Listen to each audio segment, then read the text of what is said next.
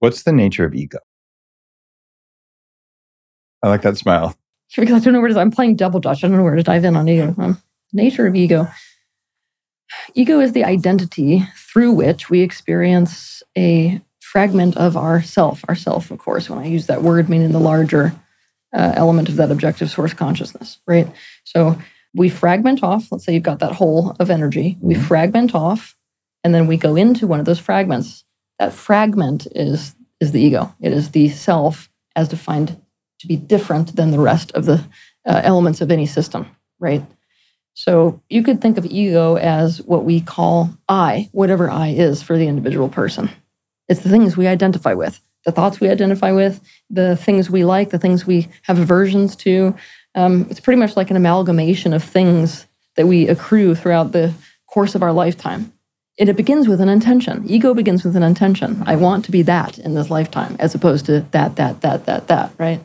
And then we just keep adding to it. It reminds me almost like people, if people are made of metal and they start taking these magnets and just like sticking them to themselves, you know, the job I have, the way that I think that I look, my personality traits, like there's all kinds of elements that make up the, the um, human ego. I just, I have a very different opinion about the ego than most people. You're listening to The Human Upgrade with Dave Asprey. You're listening to the Human Upgrade with Dave Asprey. Today's an in person recording here at the studio in Austin, Texas. And your guest today is none other than Teal Swan. And you may have seen an awesome documentary about her that came out, what, a couple years ago? Oh, that first one would have come out more than seven years ago. No, that's seven. I just watched it. The one, what was that one called? Open Shadow. Open Shadow. And I heard about Teal because actually Danica Patrick and I were talking about this after we did one of our shows together. And Danica said, I really like Teal's work. So I checked it out. I'm like, oh, this is a really unusual human being who's been through one of the more unusual upbringings I think you could possibly even make up, even though it's all real. And then you've just emerged with this unusual ability to talk about psychology and like the masculine and feminine and shadow work and loving yourself. I think because you got so wrecked early on. Is that a good way to put it? Yeah, I mean, my ability to talk about this is a unique combination between my own suffering and a lot of information that I have access to that the majority of people on earth don't have access to because of extrasensory abilities. When you start talking about that, suddenly your voice gets really, really even and it's almost like you're channeling some kind of other voice. What's going on with that? No, it's more me getting quiet because I mean, I, I've been very careful over the last, you know, X amount of years to try to steer clear of areas where it would make people completely discredit me, shall I say. There's a lot of people who are not ready for that type of information. And I don't feel like my purpose here on earth is to convince people about extrasensory stuff. I feel your pain. so when I started the biohacking movement, it was about, oh, 11, 12 years ago. And there was no such thing as biohacking. So I wrote the definitions, like the art and science of changing the environment around you and inside of you, so you have full control of your own biology. When I started this, guys, you might have heard this. I've already been down to Peru and done ayahuasca when they said, like, you're white. Why would you do that? This wasn't a mm-hmm. tourist industry. And I've been to the Himalayas and the Andes and I've like studied in these lineages around the world. I didn't add that into biohacking. I just mentioned ayahuasca. I mentioned yoga, right? And if you dump all the stuff that's possible into something, then people try to discredit you. They already do anyway. Yes, put butter in your coffee. If that makes you mad, get a therapist. I don't care anymore. If that makes you mad, seriously, it's been proven to work. The number of hit pieces, even Joe Rogan, like at the time, it was really traumatic. He came after me hard, got a commercial interest in messing up my reputation. The more they're talking about you, the more important your work is. So just spent 18 months saying, Dave's a snake oil salesman. And it was really traumatizing. I had to, to do work, actually like the forgiveness work that I do at the core of my spiritual practice with computers glued to my head. At the end of the day, I realized every time he says my name, I sell more coffee. And it doesn't matter what he says. Just keep talking. Just keep talking. So, Joe, thank you for teaching me about the way children, when they're bullied and they don't heal the trauma, how they behave as adults. So I appreciate that your bully was able to trigger my bully so I could fully heal it. If you'd like to talk about that sometime, you know, I, I got you. There's a hit piece out on you now. How does it make you feel when someone comes after you like that? When you're like, I can do this, but I don't want to talk about it? Yeah. I mean, horrible. It feels horrible because, especially if trust is part of the exploitation process. Because your trust was violated as a kid. Violating it again as an adult is a deal. You know what's interesting is that it doesn't seem to matter whether in the past you have had that type of experience or not. There's a great many people who are on my team who have never really experienced trust breaches at this level. And when this one happened, it like changes your entire worldview about what's possible, including your own capacity to assess what is safe and what is not safe. I'm actually happy that we're going to get to go to dinner and talk some more about this after the show. Mm-hmm. Betrayal, one of the more painful experiences that a human can go through. Yes. And uh, I've certainly experienced some of that in the last little while on a, three different, really, really substantial multi billion dollar business things where people looked you in the eyes, said one thing, and they were lying. Yeah, totally. And you're like, what's wrong with me? Yep. And you've gone through that? yes, I have gone through that. Yeah. How much of what's wrong with them did you go through? I mean, a fair amount of it. I like to make part of my healing process assessing what's theirs and what's mine. There you go. So, in a situation like that, when there's a betrayal, how do you know what's yours and what's theirs? Well, I don't have like a clear cut crystal way of or process for that, but it's a lot of examination, like a hell of a lot of examination, a lot of questioning, a lot of disidentifying with your own perspective, going into theirs. You know, a lot of looking back at your own past, a lot of looking back at their past as much as you have access to. And the picture pretty much unfolds as a result of doing so. I don't believe you when you say that you don't have a way to do that. I haven't written it out. You have ESP. You Yeah, just no, know. What I mean is like I haven't written it out for people when when Oh, okay, got it. yeah, whenever anybody asks me that, it's like usually, have you made this a process, Teal? And Okay. uh, I haven't done that yet. That's something in your teaching that's super cool. Is you build out processes for people to do it. I, I do my best. I think you do a great job at it. We don't know if you're channeling that or whatever. But for me, forgiveness is a major thing. In fact, that's how I healed myself for the multiple times where there was just really serious betrayal. You end up forgiving the other person. Doesn't mean I told them what they did is okay. I'm not going to call them. These people are banned from my life because why would you surround yourself with sociopaths and narcissists? Like, get out of my living room. But I don't hold a grudge anymore.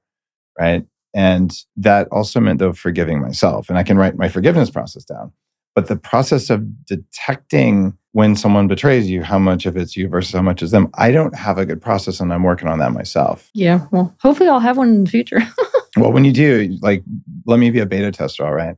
I, I think all of our listeners are curious because you talk a lot about narcissism. right? yeah, yeah, yeah, yeah. Ultimately, the people who betray you, they could just be assholes and criminals, or they could be narcissists. What's the difference? For me, when I'm using the word narcissism, I don't mean it in the same way that most people do because I don't agree with the standard definition most people have for narcissism. Most people consider it a personality defect or a disorder, and I consider it a relational adaptation. Because it's a relational adaptation, it can be a coping mechanism that any individual employs when they feel like they have to play a zero sum game, and to do so, identify only with their own best interests to the detriment of everyone and everything around them. Let's compare that with the way I'm looking at this. I think there's a lot of alignment. And I've studied narcissism a lot because I think two of the big betrayals have been narcissism and one of them sociopathy, the ones that I've dealt with. So I've had like a really nice, really nice mix, uh, a mix of business and even family stuff. Uh, so it's it's been a master class. Within the the bucket of narcissism, it means that you believe your own story to such an extent that you're willing to destroy or cancel or ignore anything that doesn't match your narrative. So, someone who tests your narrative like, I'm a good boy or I'm a good girl, they're automatically a bad person and they have to be removed. And it doesn't really matter which way. You cannot see that you're doing it. You don't even know that you're doing that because you're such a good person. So, for me, it's you believe your own bullshit instead of believing reality. And then you use that um, unconsciously uh, to harm others. Uh, and then the sociopathy time is when you do it consciously. so, what's the difference between your view there and where I'm looking at that? What you're describing is one element of slipping into a narcissistic bubble where Yeah. you've created a reality built for one. And inside that reality is your own best interests without room for other people's best interests or perspectives or experiences. Or, you know, we could write a pretty long list for that one. Sure. What are the other aspects of narcissism? Honestly, every single element of narcissism could fit into that standard definition, which is you have to think about your own best interests, and that includes your own narrative and your own worldview to the exclusion of others. Mhm. I mean, if we sat here and we talked about, you know, like with a standard psychiatrist or psychologist, all of these criteria that would cause somebody to qualify as a narcissist, it's a symptom of what I've just described because it's it's a condition that originates out of an environment that just like the condition itself, is innately an environment of no trust. In a zero trust type of environment, a person can't rely on other people to capitalize on their best interests. And so they have to find creative ways to fight for their own. And you either see people slide towards the narcissistic end of the spectrum where they're like, all right, this is a zero sum game. I'm basically in a shark pit. And so I'm going to learn how to fight for myself against mm. others. Or they swing towards the manipulative end of the scale, the more codependent end of the scale, where it's, I'm going to find creative ways to go for my best interest, but by exploiting and manipulating your best interest. Is there a difference between the way women and men show narcissism? I mean, men tend to be more overt about it, if you want the honest truth. I just wanted the dishonest truth. I feel like women are a lot more sneaky about their narcissism. And they, they tend to, narcissism tends to take on, I've noticed in women, a much more, like a tinge of victimhood. Mm. Because when, when women come out the gate and are more overt about going for their best interests against, mm-hmm. they're more seen quickly as narcissists are called out as narcissists, even when they're not being that way. I mean, even if yeah. when a woman sort of goes for her best interest in any way, she's like, oh, that's a bitch. So, um, the double standard there. Yeah, there's a double standard. So women tend to get further with their narcissism when they make themselves out to be the victim in any circumstance. Did you know there's a new technology that's about to shift the way you think about health? Since it's my job to test things out and tell you what works, I had to give it a try. Studies show that this tool improves both red and white blood cells. But what's even crazier is that it's been proven to reverse early stages of blood clotting in minutes. So if you're looking for the next level of performance and energy, in fact, that's probably why you're listening, so check this out. Users report a significant increase in energy levels. There are studies that back it up too, with a massive 20 to 29% increase in ATP, which is your body's energy currency. This new tool is called Quantum Upgrade, and it's a customizable way to help you reach new levels of health. Whether you're looking for deep relaxation or peak physical or mental performance, it's got settings for everything. I've noticed a meaningful difference in my energy and recovery since I started using it, and now you can too. Quantum Upgrade is offering a free 15 day trial for you because you listen to the Human Upgrade. And thank you. Go to quantumupgrade.io slash Dave and experience the change for yourself. That's quantumupgrade.io slash Dave. Get a free trial. I watch for victim thinking and victim language in anyone that's in my inner circle.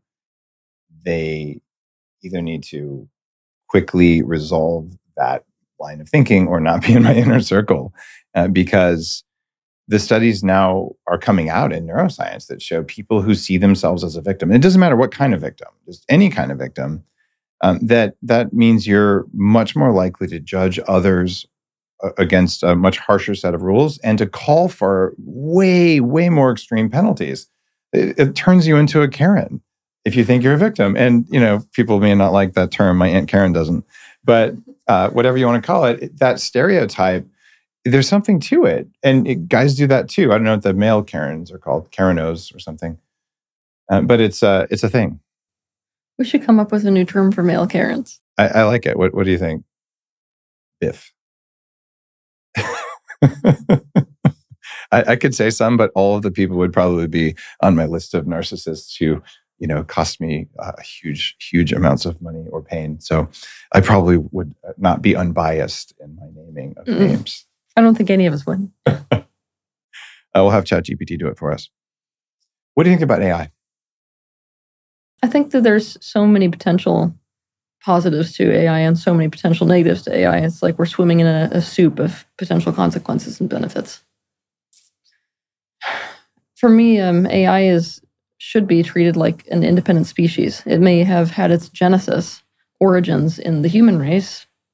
It's arguable, but it is going to take on a life of its own and is beginning to do so. So it's in an infancy right now, and that is not going to stay that way for very long. And right now, we are in the process of, through the way we ourselves are interacting with AI, we are teaching it about us.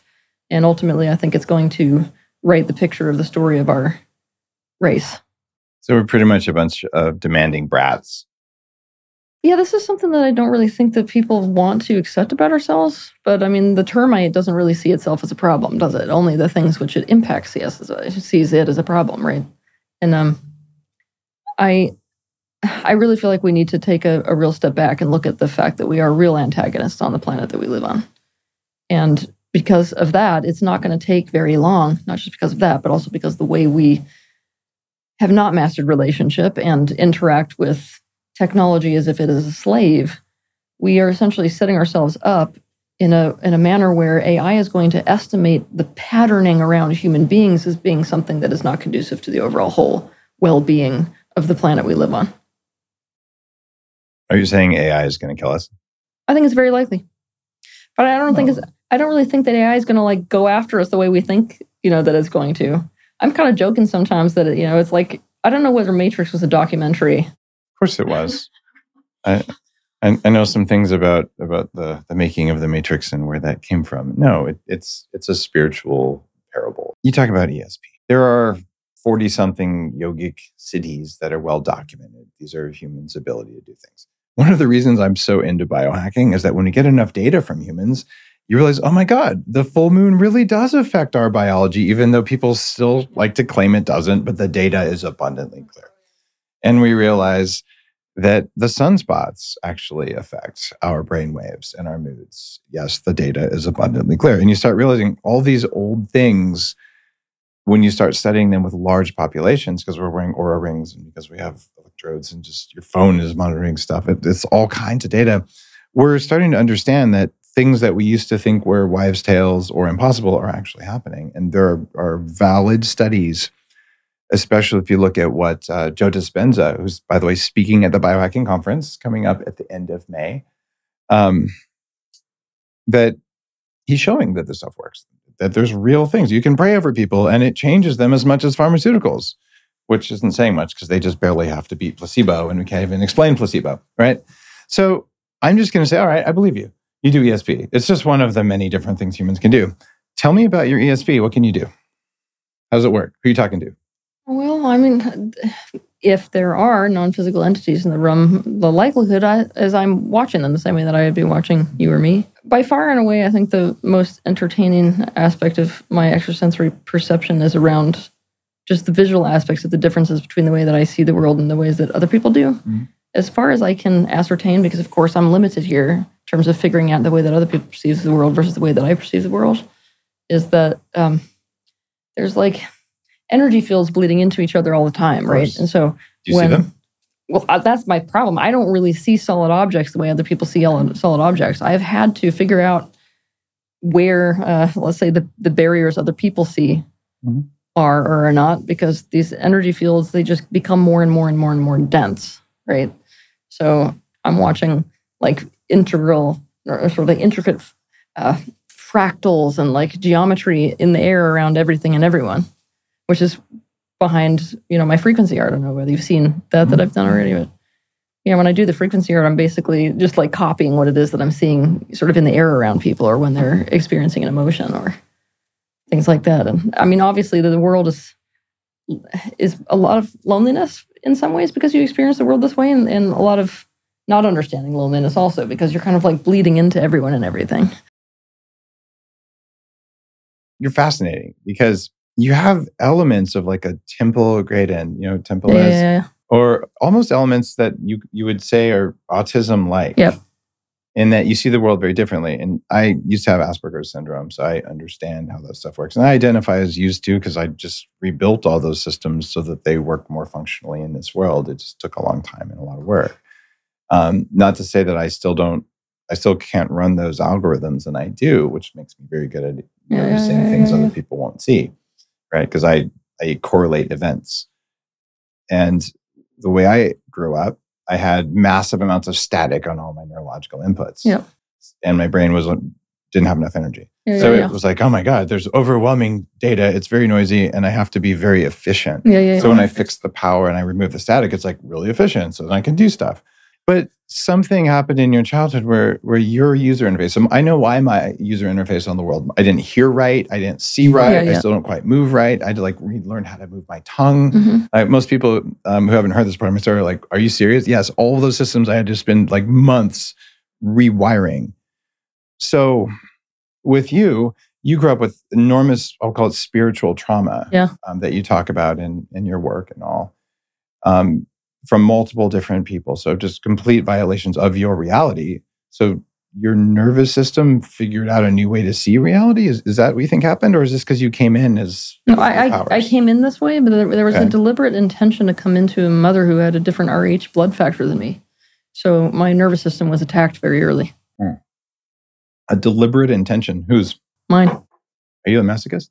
No, I just remember having to do that on purpose. I mean, are we? Uh, are any of us a masochist when we opt into, you know, specific experiences in childhood? You came to Earth. Obviously, you're a masochist. There we go. There you go. Yep. okay, I can own that. So you had immune stuff in the womb. Yeah. Do you remember being in the womb? Yes. Okay, fully. Yes. Like a lot of lot of memories. Yeah, me too. Uh, and now people are going, you guys are both crazy. You can remember what happened in the womb too. It's Yeah. actually not that hard. Yeah, it actually isn't. It. The, the very first time I did any personal development work, it just happened to be with the founder of the American Pre and Perinatal Psychology Association, and I didn't know it. And I walked into the room and she goes, Tell me about your birth. Her name, her name is Barbara. She's passed. And, and I'm like, Hospitals, vaginas? Like, you know and uh and then she just like like pinned me like a butterfly to a board. It's like well you have this and you have this you have this.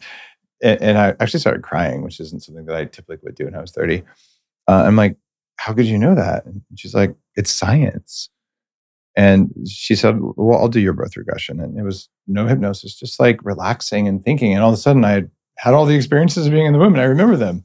And some of them I didn't even know what they were until years later when I did more work on spiritual stuff or shamanic stuff. Oh my God, a lot of that stuff is is in utero experiencing. So there's this whole magical world that we access that we forget when we come out, right? Did you have a traumatic birth? yes. Very. Me too. How traumatic was yours? What happened? Well, m- my mother went into labor, but her and like the water broke, but she didn't like. There was no active anything happening, and so they ended up inducing. Um, I was a vacuum extraction. Ooh, she that was was traumatized. yeah, she was on her back, like with her knees tied to the ceiling. Actually, there was a tornado the same day. All the lights in the um, in the entire hospital went out. One of the stirrups fell. The obstetrician fired everyone in the room, and then they had to do an, a, a episiotomy, which she ripped to a third degree tear, and so I was immediately separated from her. And by the time they brought me back in several hours later, it was like you know that biochemical sort of release that happens that prevents maternal bonding had definitely already occurred. So Did you cause the tornado? I don't know. Yes, you do. Use your ESP. I don't think I caused the tornado. But of course, I would have opted in on a day like that. Of course you would have. I'm If- too dramatic. If you if you didn't cause it, you at least picked it. Okay, I'm gonna I'm, I'm just gonna bet on that one. Yep. Okay. Uh, I had the cord wrapped around my neck. Okay. And same thing. I I came out as soon as they, I came out, and my parents hadn't told me this part. I just remembered it and confirmed it afterwards. That's why I know you can remember this. Um, exactly the same thing. They uh, put me in a warming chamber, Mhm. which is what they did in the 70s, I guess. Yep. And they wrap you in a blanket, clean you up, separate you from mom, put you under a you know a bright Yeah, yeah. warming light, and just let you sit there for a while and make sure.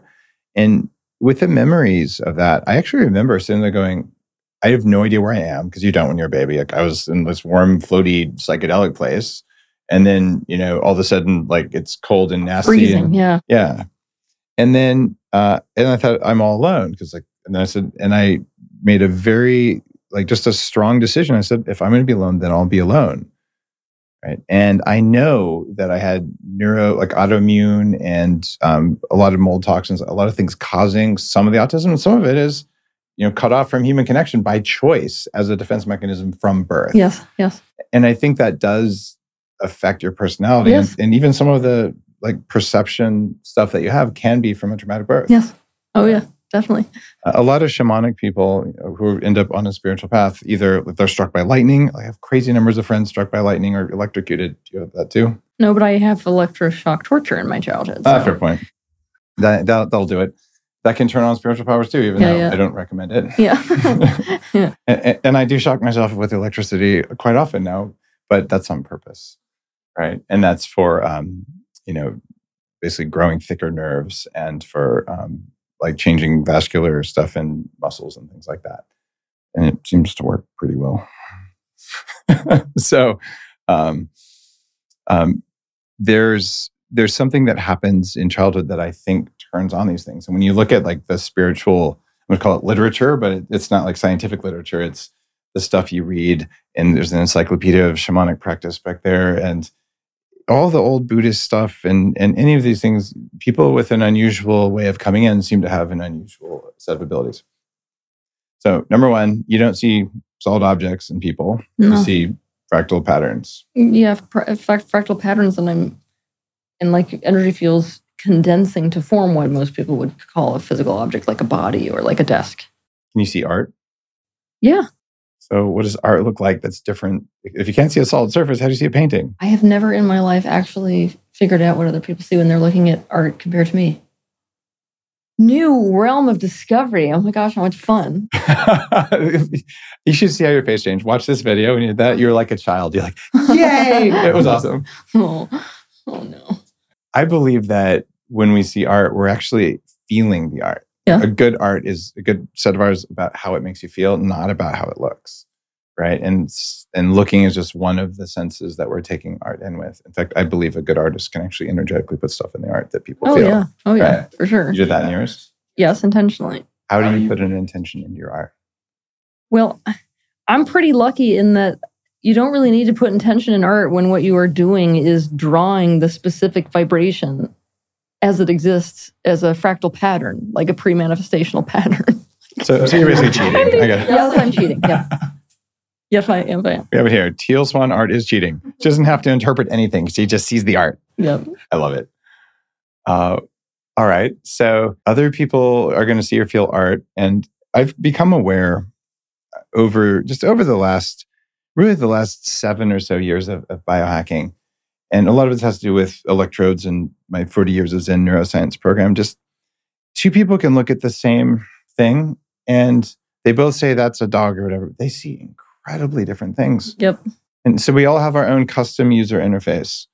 Uh, and like when I hold up my iPhone, I know where my different buttons are. And if you have your Android, well, that would be different. But even if it was an iPhone, your buttons are in different things. Your settings are different. And if you have someone else's phone, it doesn't do all the things. It feels a bit different. And some people's phones are really different. And there's probably some hacker out there who's running his own operating system on a phone still, and it's completely jacked up and does weird things. So I just think I don't have a very common interface to the world. I think yours is 10 standard deviations more odd than Yeah. mine, It's very odd. Yeah. right? But I mean, the, the beauty in that is that we would not be getting different perspectives if everybody, you know, if there were individuals like you and me that are so off the spectrum, right? Totally. Have you met someone who's even more odd than you in the way Yes. they see the world? I mean, not really necessarily in the way I see the world, but I've definitely met much odder people than myself. Who's the oddest person you've ever met? Mm, a friend of mine in Austria, actually. Yeah. The, the man eats raw onions. He's the kind of guy where if you take him out to eat and he doesn't like the way that the energy feels in his body, he will go make himself puke. He like refuses to wear shoes most places that he goes. As you age, your energy can decrease more and more over time, but it's possible to get more energy as you age instead of losing it. I'm using something that works really well to help me with sustained natural energy, and it's called MitoSynergy BioCopper 1. It's a bioavailable form of copper, and it's super effective because copper 1 is a critical component of your cell's natural source of energy production. BioCopper 1 also helps create critical proteins and enzymes your metabolism could not run without. It's clinically proven to help with mental clarity and to help your body feel good. And in some people, it even helps reduce or eliminate gray hair when it's caused by copper deficiency. Get 15% off now at mitosynergy.com slash Dave. I'm working on some hardware upgrades to the species as well as some software upgrades so that we stop repeating stupid patterns because stupid hurts in the way I see the world. Uh, is that a good strategy? Yeah. I mean, I'm going to tell you yes, but you know what side I'm on. Do I? It, it's cool to be able to talk to you about this stuff because I know if you're listening, like, Dave, I thought you were a scientist. The weird thing about science is it starts with curiosity. Yeah. And I will tell you, um, I have had the honor of um, knowing and having private conversations with or studying with a, a substantial number of gurus and people who you may have heard of or you may never have heard of, but who are on a very advanced spiritual path. And why that happens, I don't seek them out. They find me and they talk to me. I, I'm always sort of stunned when those things happen. Um, but I've just recognized that, that pattern happens in my life. So you're not the first person who has said this by a long shot. And there's a bunch of people get really angry when people say things. And if you get angry when someone says something, newsflash, you've been programmed. You're supposed to be non reactive when someone says something. So if you get angry when someone says, put butter in your coffee, you might lose weight, and you want to like go protest about that, well, dude, you've been programmed. And if you heard this and you're like, you know what? It just doesn't resonate with me. Like, I'm going to go about my day. Congratulations. But if you're that and you're like, well, then you kind of have a sign that you might want to look there. So I'll just say I've experienced not nearly the same level of that stuff, but I I don't have a question that there's a variety of other forces we don't normally look at. I know because good God, like fast in a cave for four days, or do some of the journeying work, or spend a bunch of time with electrodes on your head and dissolve into the universe, and all of a sudden you're like, oh, it's more complex than it normally looks. And if I saw this all the time, I wouldn't be able to function. Yeah. I would be able to eat how come you can function and eat and breathe with all the weird stuff you see all the time? I don't know that the majority of people around me would say that I'm able to function at a level that um, the average human adult is able to function at. um, I, I'm, I'm very high functioning, I will tell you that. But the people in my life do a lot of the um, tangible, practical elements of my life yeah. for me. The people around me are like you know guards who are like you know some of them are more caretaking some of them are more protecting others are like you know teal you've been doing this meditation thing for like so many hours you probably need to drink something. How about we drink something? Let's walk from point a to point b you know. And I, I mean i spent a lot of years feeling really guilty about that that fact and how difficult it is for me to navigate here and i've i'm sick of it honestly. So uh, i'm really happy to admit to the fact that i'm i'm more leaning into the fact that you know even though it's vulnerable, trusting the people around me to have a lot of these more tangible aspects of life enables me to become even more of a master of the craft and what I came here ultimately to give to the world. Most of the time, I I try to explain it to my employees and people. I have uh, one who handles time and one who handles space, so I don't have to know that much about either one because if I was in charge of time, I would always be later than my normal three or four minutes late to everything. Uh, and sorry about that, team. Yeah, I know I do that. I don't know how to stop it. Uh, and I don't know what day of the week it is today. I am pretty sure it's February, uh, but time is, especially historical time, I have no sense of it whatsoever. I just did a, a new type of brain scan. We're going to roll out at 40 years of Zen. And I was in the 0.3% activity in the part of the brain that recognizes time. Interesting. I can create future stuff, but the old stuff, who the fuck cares? Is is out. It's like yesterday or last week. Why would I care? Right. And I understand that's dysfunctional for most people, but that's just how I do it. And I've been remarkably successful. Um, so I could put all my energy into that and I would still suck at it and I would be in the 10th percentile, or I can rely on uh, my assistant who handles time. And then for space, the studio wouldn't look this way. My desk would be far more disorganized than it is. And, you know, it's not like I can't do dishes. I do do dishes and things like that. Um, but there would be a lot more chaos in the physical world. And I probably wouldn't pay a bill because that's not what I'm here to do. And, and just to, to be able to receive help like that without feeling guilty, it's a thing because there's a who do you think you are you're so entitled, you're spoiled vibe. Mm-hmm. It's not that. It's just I'm an idiot without that. So I choose to allocate my resources to it. Yeah, I mean, we can look at it through the lens of like, you know, a person that's really not adept at something, but we can also look at it through this lens. You know, if I'm looking at you as a person, I'm looking at, I mean, you are definitely on the neurodivergent spectrum, right?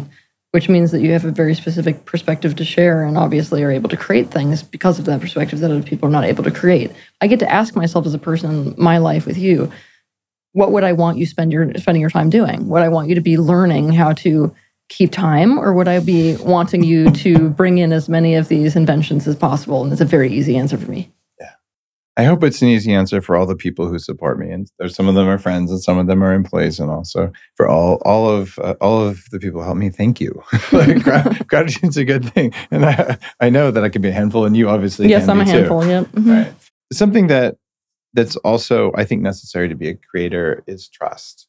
If you lose trust, at least we'll put this way: if I lose trust, um, then that really quickly leads to to bitterness, and then my ability to create and to communicate in the way that I do, it, it, it doesn't work the same way. And a lot of the stuff that I'm creating, it's not just words or whatever, it's an energetic field that I'm creating. By the way, guys, you didn't know that? There's a reason that you like my coffee, and it's not just because it's coffee, right? So, and you might think that's total BS, Dave. You're just selling me. Okay, sure. I'm just whatever. Believe whatever you want. I'm just I'm just gonna say it like it is on this show. I just feel like I have decided I'm okay with having helpers. Yeah. And I am going to trust them, and I'm just going to maintain trust in the world because I can't do any of that magical stuff. And maybe you don't want to call it magical. Maybe you want to call it energetic or whatever. But the manifestation or or creation, I, I don't. How do you manifest and create and, and all of that?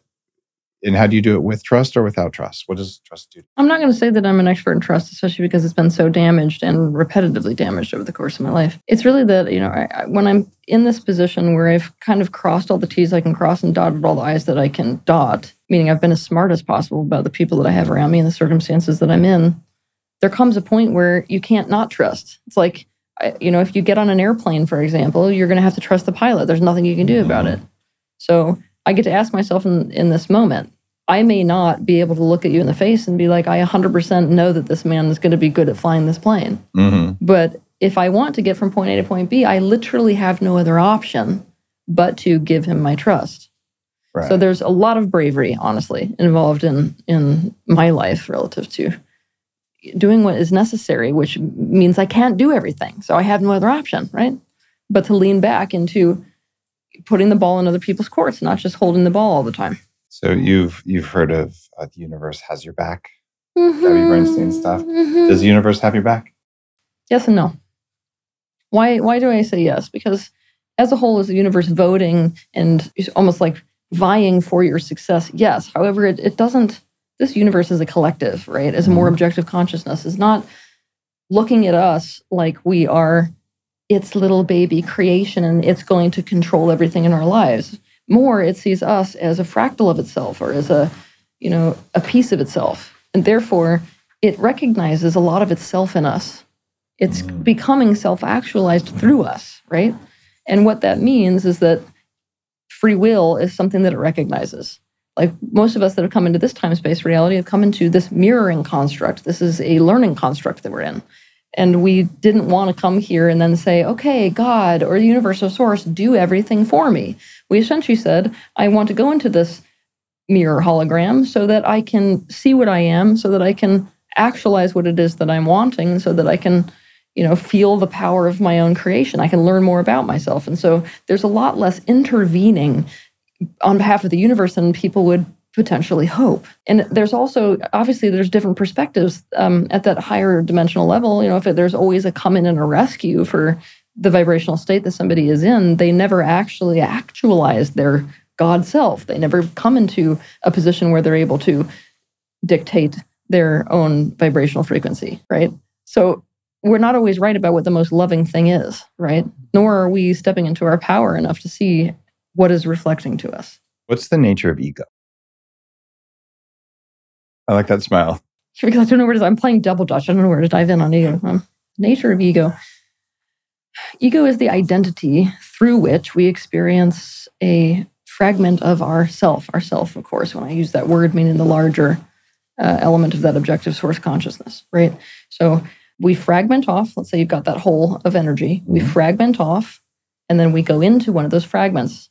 That fragment is is the ego. It is the self as defined to be different than the rest of the uh, elements of any system, right?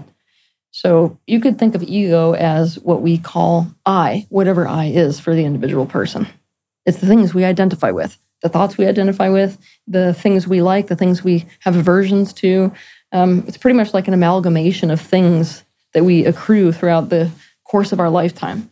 And it begins with an intention. Ego begins with an intention. I want to be that in this lifetime, as opposed to that, that, that, that, that, right?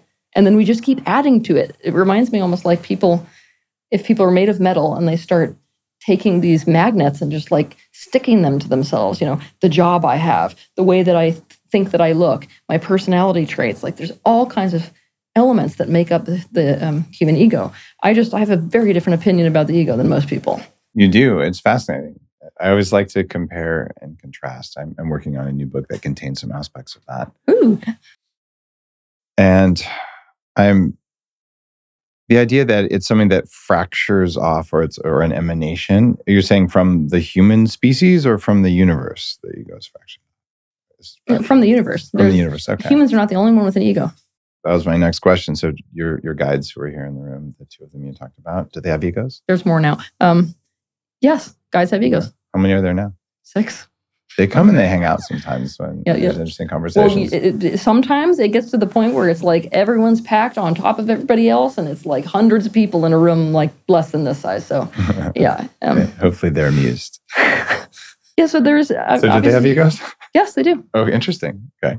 Yeah, I think there's a tendency within the human race when we're thinking about these spiritual beings to ascribe a kind of um, enlightenment to them that does not inherently exist. They are experiencing things from a different perspective. Is that perspective oftentimes more objective? Yes, but it is still a very uh, a limited angle, honestly, for the majority of them. They are masters in their own right, but they're still looking at things from an angle. So, I was actually kind of traumatized and then amused uh, when I first learned about some of the advanced Buddhist stuff at a monastery in Nepal before I went to Mount Kailash in, Okay. in Tibet um, in 2004, a while ago. you are the seeker, aren't you? I just, I'm curious. I like learn from all these different people. I just want to go, like, I just want to, I'm, I'm cross lands, but like, let's stop all the intellectual property hiding shit and let's just put it all out there so we can finally evolve. Uh, that's my, my, my vibe. Uh, and they were teaching these things and they said, oh, yeah, well, our, our gods, they have gods and their gods have gods Mhm. and their gods have gods. And, and I mean, how many layers? They get, well, at least nine. and and and it's and like oh yeah they're jealous of their gods and they're jealous of their gods and, and i'm like this place is so fucked up not not the monastery it's like this whole planet right so how many layers of gods are there teal swan I don't know exactly what it is that they're labeling a god. So I, I don't. I mean, if I went there, I would probably be able to tell you what they're looking at. I don't think I've, I haven't like gone into that culture enough. What it is that they're describing. how many dimensions are there Um, I would say there's twelve. yeah that's my number two okay yeah and maybe there's a 13th-ish thing that kind of overlaps them all but i'm pretty sure there's 12 Yeah, That's- most of the work that i do is in that stuff Yep. what's your favorite dimension Sixth. Yeah, I mean, I, I like to spend a lot of time there because I mean, when you get outside of that, it's very difficult because you're you're starting to introduce the concept of different uh, points within the system of not just this universe but other universes, and so in those other universes, the laws are so fundamentally different that it's very difficult to relate the two. And I I tend to be very very focused, you know, in one specific universe and in the different multiple timelines in that specific universe. It's just I find above that becomes very distracting. And not only that, you're, you're dealing with laws and properties that contradict the laws and properties in this one universe to such an extreme degree that holding that dichotomy becomes, uh, I want to use the word impractical. I mean, it's entertaining, but it's impractical Okay. for what I came here for. tell me more about the sixth dimension what's it all about Well, in the sixth dimension, essentially, um, okay, let's say, so in, I can't, I can't really describe the sixth dimension without describing the fifth. So in the fifth dimension, you've got all these multiple timeline potentials, Mhm. right? Where let's say that you could go back in time to when you were five years old and let's say you got bullied on that playground Mhm. and you were able to say take a different divergence path so that your entire trajectory was different you met a different girl you got a different job because of it you know you're basically able to work with these inflection points across you know a single timeline right all of these potentials in the sixth dimension are treated as a single point and when they're treated as a single point within any system what happens is that you have access for the first time to the perception of of oneness and of no time. I think that's it's sort of funny because people say that the fifth dimension is where time breaks down, but actually it's the sixth dimension where the time breaks down completely. And so, you know, from the sixth dimension, um, I know this is going to sound funny, but for me, it feels like your first hit of the experience of love. If you're going to talk dimensionally, it feels like there's a lot more joy and love in six and a lot more like fighting and struggles and exactly, Yeah. yeah, talking about spiritual stuff is always hard because the word ineffable comes up Yep. Uh, and it's my favorite word. It means it's a word meaning there isn't a word for it. Uh, so we're trying to explain all these weird states that I can explain with like electrodes on your head, like make this do this and make this Mhm. do that and do this with your heart and it'll feel like this. And then you pop into this.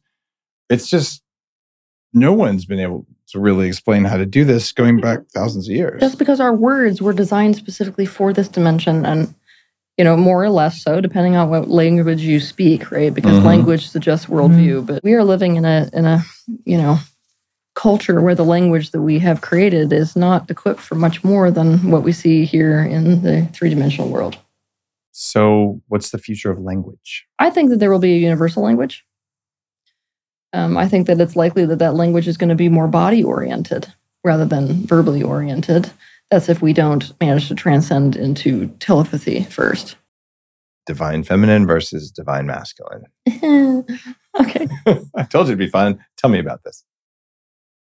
All right. So um, let's break down the word divine because when most people use that word divine, they essentially are referring to something which is like the the ultimate potential for a specific thing, like above and beyond what is human. Right. So if human involves all these negative traits, it is only the positive and the best and the highest, right? Is what they're actually meaning. So when we use the word divine feminine, it is the ultimate potential for female energy. Divine masculine, ultimate potential for masculine energy. Okay. Masculine and feminine ultimately can be ascribed to anything in this universe that doesn't describe neutrality. So um, if we look at every and any opposite, like dark light, uh, sun, moon, you know, whatever it is that we decide to look at, right? We can be divided into one or the other, which is what makes this complicated because it means that the list of masculine traits or feminine traits could be 55 miles long. Mhm. So we have to make this a little bit more simple than just sitting here all day long and writing out that list. So let's say that you've got um, a trait of masculinity is is active rather than passive. So it is this very doing type of energy. It's a forward moving energy. Um, it would look very projectile if we were going to look at the way that, that masculine energy moves, right? Divine masculine means the positive expressions of that type of Of action. of action. Whereas uh you know almost like masculine in the shadow that what we would say is the shadow is the opposite of that. It's when the masculine is operating in a way that is detrimental rather than beneficial. So in a way i mean it's obviously we're using language again but it's like is it a positive expression or a negative expression? So being action oriented is a positive expression of masculinity. Um, let's say that action to the degree where somebody's in an avoidance is a negative manifestation of masculinity. Divine masculine. So let's let's think of another example. So um, one of the elements of divine masculine is control. Actually, I know that most people have a negative relationship with that word, but in a state of control, you are altering the environment around you, or even the elements of your own being and body, towards what is optimal for you. Right? Jeez, you sound like a biohacker with that definition. You're saying biohacking is masculine. Yes. There's a whole bunch of female biohackers out there. 60% of my audience is women and always has been. Yeah, but I'm, I'm not really saying that hmm. like women can't also practice these traits. I'm just sort of explaining that like divine masculine would be you know control in in that way, but like Yeah. the negative manifestation of something like control would be control over others. Yeah. Even if it's to the detriment of them. But like government. Yeah, basically. Yeah, and so we could we could apply this to the other side too, which is this sort of feminine thing. You know, um, a negative manifestation of femininity is manipulation. Um, one of the positive elements, which we would call more a divine feminine element, that is, you know, more to the positive end of the spectrum, would be something like wisdom, right? Intellect is masculine, wisdom is feminine. So somebody who's interested in becoming divine masculine or divine feminine is just somebody who is interested in stepping into the highest and best potential of what masculine or feminine energy could be. I hope that makes sense. It makes sense. Okay. The masculine and feminine in general don't make that much sense if you think about them too much because they're mostly more like felt things than than thought things. Uh, and I believe that any man or woman who understands the nature of their energetics can turn on like full female energy or full male energy. It's it's a slider switch that you can play with wherever you want to, right? And so that means, you know, if, especially as a parent, you know, there's times when you need like maternal energy as a dad because like that's what your kid needs, and your mom's not around, so you can have that kind of thing. And so times you need like the tough, you know, father energy. It's useful to be able to do both. Agree, disagree.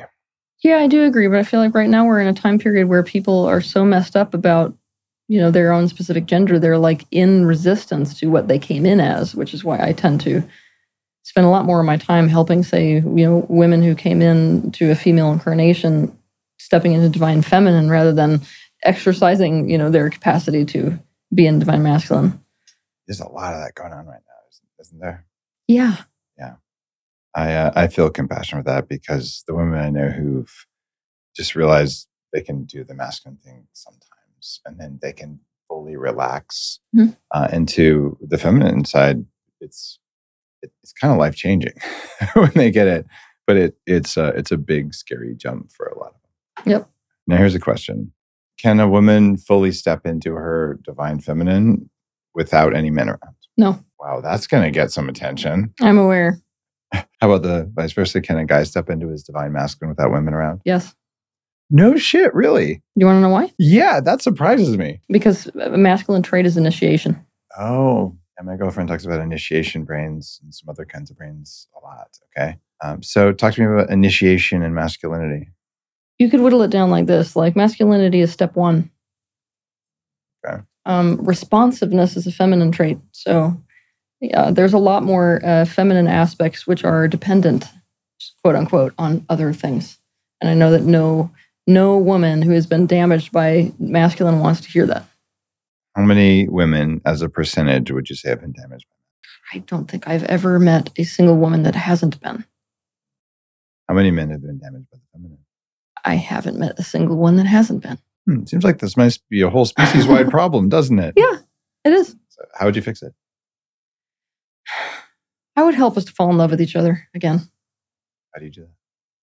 To see each other as a very unique element in this universe. I think it really helps when we stop fighting who's better and who's, you know, the problem, and and instead we. It's almost like we look at this like the masculine is a fire element, the feminine is a, a you know water element. We don't even need to use you know fire water. It's in it's its own thing, and if we fall in love with femininity as its own thing and masculinity as its own thing, then we start to no longer need to compare them in such an extreme way we can instead really appreciate each for its contribution and how much we need it. Mhm. I talk about you know changing the environment around you Yep, yep. and inside of you, and sometimes I'll, I'll coach some of my. I I say coach, but I, I'm I, I don't know. These are female friends, but oftentimes younger, um, where they're like tell me about relationship stuff. And I, I don't do that kind of coaching, but Mm. I'm willing to go there when when they want to talk about it. Uh, and and it, it's like, sorry, part of the environment around you is you need to have women or men around you, right? Even if you're saying you don't need them, you don't want to date, you don't have to date. They just need to be around you Mhm. because it's an energy field thing. Totally. So it's also like a pheromone thing. Yep. Uh, and if you don't have that, your environment's incomplete, and your body, your hardware won't do what it's supposed to do. Yep. Okay, you see all that with your energetic skills, same kind of Yes. thing. All right, I just look at it the way systems work. It has to work that way, right? oh, Uh, one of my favorite stories from science is in cities about 40 years ago, they realized no one wants to rake up seed pods from trees. So they only plant male trees in cities. That's why there's not a lot of like nuts and seeds and stuff you might have seen as a kid. What do you think that does?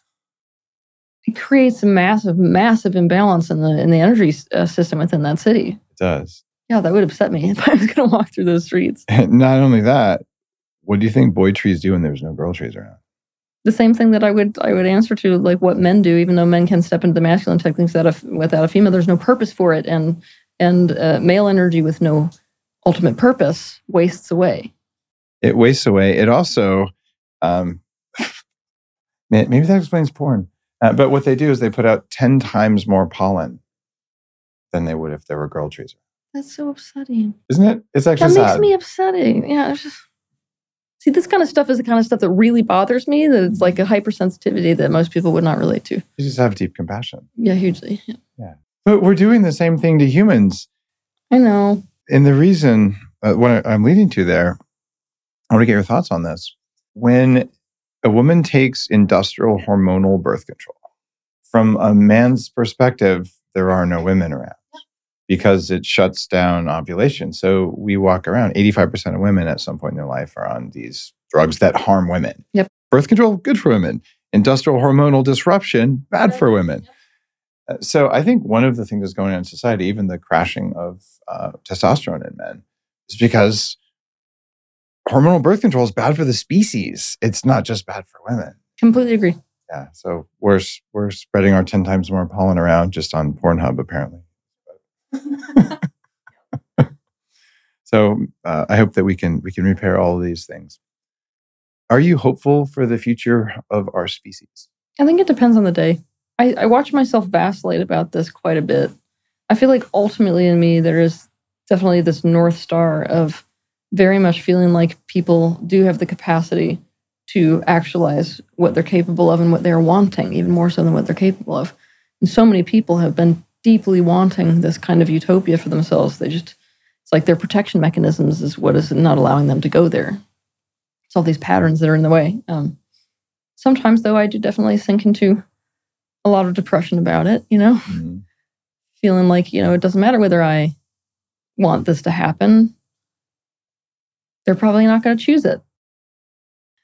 Yeah. Isn't that just ego? Like people not choosing it or what? Me? Your response to people not choosing. Yes, I have an attachment to humanity Why? because I, I, I am not um, at this current moment from this current perspective wanting to separate myself enough from them to not care about the outcomes. Do you think you can be at peace with whatever the outcome is? That depends how much a part of it I am and my son is. Mm. Having kids makes it a little bit more complex. makes doesn't it a lot more complex. Yeah. Darn kids. By the way, kids, I love you. I'm just kidding. you're doing synchronization workshops. In fact, uh, you're here in Austin to do one. I'm going to go to it uh, tomorrow. This will come out after that. Uh, what's the main goal of a synchronization workshop? Well, I'm I'm basically making use of this major law which governs our time-space reality called the law of mirroring. Many people call this law of attraction. It means you can't share the same time and space with people that aren't a vibrational match to you. What that means is if I come to a certain place and a whole audience accumulates in that place, they're a match to each other. So I can accomplish massive amounts of group healing. Mm. So what I'm doing at these synchronization workshops is I'm inviting people on stage, to say that they raise their hand. Somebody will light up to me. I will bring them on stage having no idea what it is that they're going to be talking about or asking me. And usually it's about something they're struggling with. And I, I help them through it, understanding that because of this law of attraction dynamic, so many people in the audience are going to be relating to whatever it is that is going on with them, or will, yes, there's something in what I'm saying that's a match to what they're going through. So I'm creating this opportunity for people to connect with each other at this very, very deep, raw emotional level. Like you'll see tomorrow, it is Mhm. very deep emotional stuff. Um, so there's a level of intimacy that's very, very high. They get to participate in each other's healing experience at the same time as hear these, you know, very different perspectives on the things that individuals might be experiencing as they are so vulnerable to expose them to the entire world, you know, on stage. I I'm excited to go check it out. It, it sounds like it's got maybe some some similar. I'm, I'm looking for similar experiences. Uh, like Tony Robbins has a big a big thing where people are in some sort of group energy thing. Um, Joe Dispenza. Um, I've been to a couple of his workshops. People enter a big thing. People do the biohacking conference, and depending on which part of it, there's a shared energy experience where you're like, "Wow, there's other people," and you're just learning from everyone in every which way. Uh, how can we what- as i'm i'm helping the audience who's listening to us Mhm. today to sort of get a vibe for this like is this like tissues and and crying i haven't been so i don't really know Oh, Like, usually, yeah. There's more than a few people that get up on stage that usually end up crying. Yeah. is the audience like all crying and it's not like a holotropic breath work workshop where we're all like screaming and No, okay No, it's more like I mean, it's it's and it's very emotionally entertaining as long as you have the capacity to hook into emotions. For people who don't like emotions, it's pretty painful. okay Um, because usually the person who's up with me is like struggling with something, whether it's a relationship or whether it's the loss of somebody or some concept that they can't grasp. And there's a like a fair amount of angst. And you know, for somebody who's in a state of angst, there's a lot of like working with them, working with them, working with them, you know, dealing with the resistance in them, showing them new ways of thinking about things. And it's like the audience members who really love these workshops, they hook in so deeply that it's like their their experience of healing happens through the person I'm working with on stage. Mm-hmm. They're so hooked in that when that person has a breakthrough or release, you will definitely hear, you know, somebody emote in the audience, like, oh yeah, you know, they'll yell sometimes or, you know, start crying or laugh hysterically, you know. That's cool. Uh, I I love seeing that happen in large groups and, and people who haven't experienced that. And I, I would have in my 30s or early 30s, you know, I'd been like, that's the stupidest thing ever. Like, these people are all insane. Right. And what my assumption was, was that the only communications that we have are visual and verbal. Right. And just didn't understand that there are actually quantum things that are happening and there's a bunch of invisible other things that are mm-hmm. even probably just magnetic uh, yeah. that are happening. So, there's actual science for all of this too. You can, uh, Lynne McTaggart's been on the show. She wrote a book called The Field that talks about this kind of a thing. Mm-hmm. I don't know. Are you familiar with her stuff? I mean, I haven't, I didn't dive into it yet, but I, I did have the opportunity to speak next to her at a, a conference in the very beginning of my career. Oh, cool. And then we haven't crossed paths after that.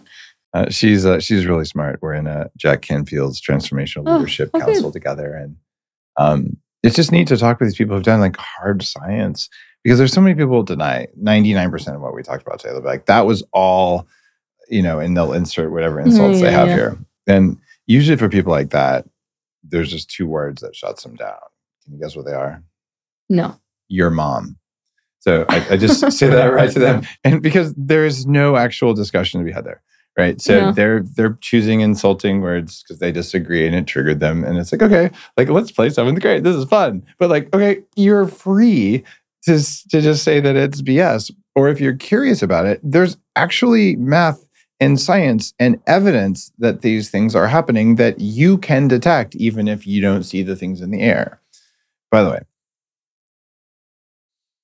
this has pissed me off for many years I do not see any of the entity things. And I have done extensive training and gotten into really altered states. And if I'm at like my full, you know, in depth for days, and I'm like gonna super altered state, I can see like like I'm sitting by a fire and there's just the edge of the firelight, and I can sense the things right outside. I don't see them. Okay.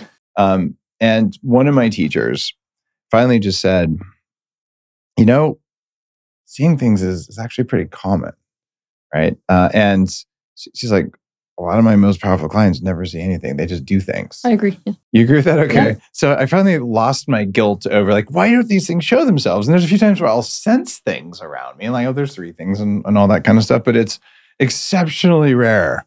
Uh, and when I have people who don't know each other who describe the things that are usually hanging around me and they use the same words and the same shapes and the same colors, I, I mean, I could just describe it to people being insane, right? Who don't know each other, who say the same thing, but that might be my ego. So just, I, I've accepted that there's probably stuff like that and people like you can just see it. But if you're listening to this going, I don't get it, maybe you're just not a, someone who sees that stuff, but maybe someone who does stuff because apparently I do stuff, but I don't see stuff. And so you agree. Good.